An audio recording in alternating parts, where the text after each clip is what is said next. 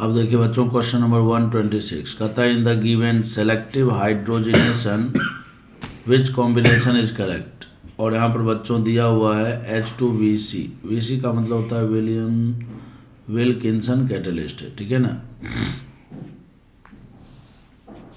Wilkinson catalyst होता है। तो यहाँ पर विलकिंसन कैटलिस्ट से कोई ज़्यादा दिक्कत वाली बात नहीं है, ठीक है? वैसे इसका नाम होता है रोडियम लिख देता हूँ। R H C L P P H three triphenyl phosphine बोलते हैं रोडियम क्लोराइड ठीक है ना? ट्राईफिनाइल फॉस्फिन रोडियम क्लोराइड खैर, मैं आपको बता रहा हूँ, इससे कोई दिक्कत नहीं है। कुल मिलाकर बात यह है कि रेट ऑफ़ हाइड्रोजनेशन अगर आपको डिसाइड करने आता है तो आप फ़र्स्ट तीनों क्वेश्चन सॉल्व कर पाएँगे। क्या होता है इसमें? समझते हैं।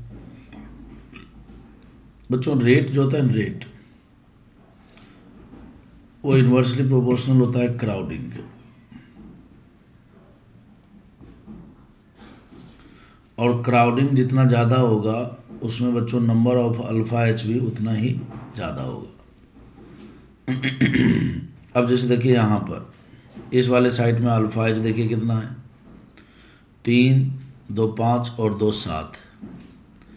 यहाँ अल्फ़ा एच देखिए कितना है। तीन और एक चार है।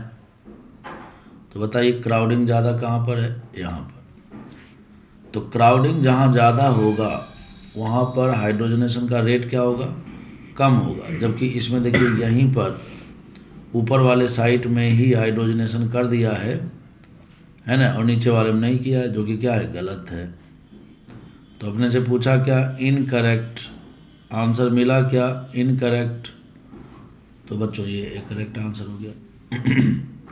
वही फंडा यहाँ लगाइए बच्चों। इस साइड पर अल्फ़ा एच देखिए कितना है। वन यहाँ अल्फ़ा एच देखिए कितना है। तीन तीन छः दो, आठ। अल्फ़ा एच कितना है बच्चों? आठ है। अल्फाइज कितना है? आठ है। तो ऐसी स्थिति में अब अब आप डिसाइड कीजिए कि कहाँ का हाइड्रोजनेशन होना चाहिए। तो यहाँ का होना चाहिए और यहाँ का नहीं होना चाहिए। तो वैसी स्थिति में, वैसी स्थिति में बच्चों, इसका करेक्ट आंसर क्या हो जाएगा? मतलब ये ये जो रिएक्शन है, ये सही दिया हुआ है। अपने से इनकरेक्ट पूछा है, ये बात ध्यान रखना है। उसी प्रकार से बच्चों, यहाँ पर देखिए दो साइड दिया हुआ है तो यहाँ पर अल्फाइज देखिए डिसाइड कीजिए कितना है, तीन, दो, पाँच और एक छः है। जबकि यहाँ पर अल्फाइज डिसाइड कीजिए दो, एक, तीन, एक, चार है। तो अल्फाइज जहाँ कम होगा, वहाँ पर क्राउडिंग कम होगा, वहीं पर हाइड्रोजनेशन फास्टली होगा। तो ये सही है।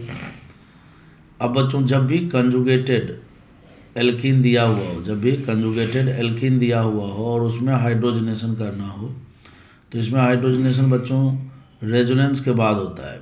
मतलब इसमें बच्चों सबसे पहले इस तरह से रेजोनेंस करा लेंगे। फिर यहाँ पर माइनस आएगा, यहाँ पर प्लस आएगा। और ये जो हाइड्रोजन होते हैं ना, इसको हम लोग क्या करेंगे बच्चों? हेट्रोलाइटिक मतलब एक बार इसके ऊपर अटैक और यहाँ से जो ये इधर गया बच्चों, इसको इसके ऊपर अटैक करा देंगे। तो ऐसा करने से क्या होगा? आपको यहाँ पर सी एच थ्री और यहाँ पर सी एच थ्री ये प्रोडक्ट मिलेगा। तो कहने का मतलब ये भी सही है और ये रूल कब लागू होता है? जब दिया गया एल्कीन कंजुगेशन में हो। ठीक है ना? ये एक स्पेशल केस मान सकते हो आप। इसको विशेष रूप से ध्यान रखना है। तो डी भी सही है। तो डी भी इस क्वेश्चन का करेक्ट आंसर है। मतलब ऑप्शन करेक्ट है। इस क्वेश्चन का करेक्ट आंसर तो बच्चों, यही वाला होगा A one twenty seven one twenty seven में बच्चों, यहाँ पर टर्मिनल कार्बन है टर्मिनल कार्बन में हाइड्रोजन जुड़ा हुआ है। अब आपको पता है सोडियम एमाइड क्या है बच्चों? एक बेस है स्ट्रॉन्ग बेस तो यहाँ से क्या करेगा ये?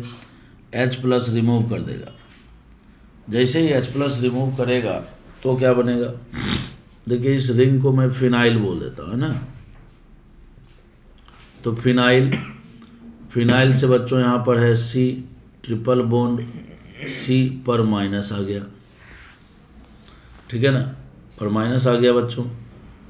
अब ये आ गया। अब देखिए यहाँ पर क्या दिया हुआ है। इस तरह से एक रिंग दिया हुआ है और यहाँ पर बच्चों ओ टी एस ये जो ओ टी एस है, इसको टोसाइलेट आयन बोलते हैं और ये बच्चों एक बहुत ही अच्छा लिविंग ग्रुप होता है।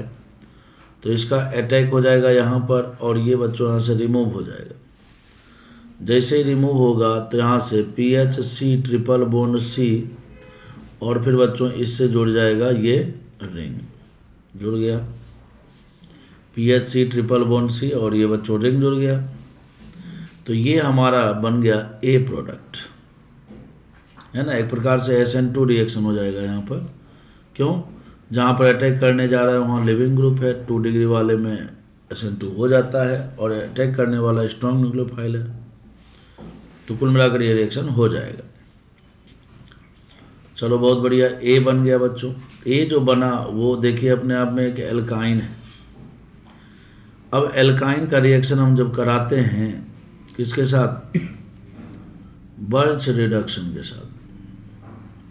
Sodium, liquid N H three तो क्या हो जाता है? पार्शियल हाइड्रोजनेशन होता है और यहाँ पर बनता है ट्रांस एल्किन क्या बनता है? ट्रांस एल्किन तो बच्चों, यहाँ पर फिनाइल एक तरफ़ और इधर से ये साइक्लोहेक्सेन बच्चों, इस तरफ़ बन जाएगा। इधर साइक्लोहेक्सेन बना दिया और ये एच और एच लगा दीजिए। ये आपका बी हो गया। अब बच्चों, ये ट्रांस है। अब ये क्या है? ट्रांस एल्किन बन गया। अब ट्रांस एल्किन में बच्चों, हमें सिन एडिशन करना है। क्यों? क्योंकि अगला जो रिएजेंट है वो है M C P B A meta chloroperbenzoic acid और मेटा क्लोरोपर बेंजोइक एसिड मतलब हो गया पर एसिड और पर एसिड क्या करता है? तो पर एसिड एक थ्री मेंबर का इपॉक्साइड बनाता है. पर एसिड क्या बनाता है? इपॉक्साइड बनाता है. तो ये इपॉक्साइड कैसे बनेगा? इपॉक्साइड कैसे बनेगा? तो इपॉक्साइड तो बनेगा। देखिए, दो ऑप्शन में इपॉक्साइड बनाया हुआ है डी और सी तो बिल्कुल भी नहीं होगा आंसर लेकिन बच्चों, एक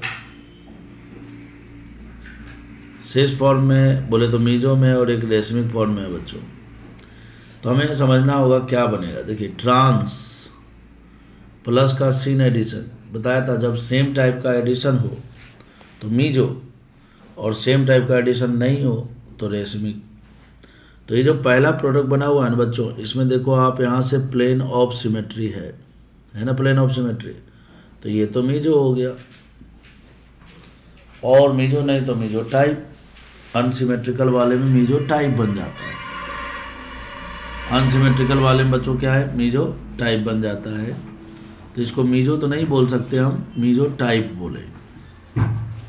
अनसिमेट्रिकल वाले में मीजो टाइप लेकिन हाँ फंडा वही है।